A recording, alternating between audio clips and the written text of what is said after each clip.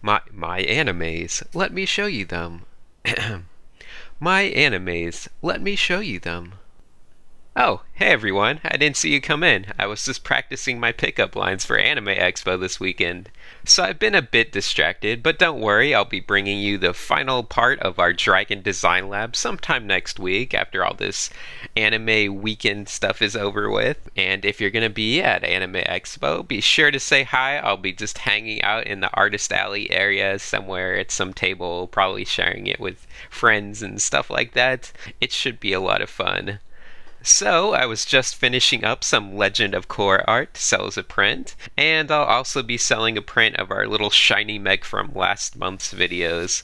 So I think that's about it. I just wanted to let you guys know why the design lab was being delayed a little bit. And I think after this design lab, we'll probably go into some anatomy stuff and poses because a lot of people have been requesting that and it's something I'd like to go back on in my videos. So look out for that and I'll see you guys soon.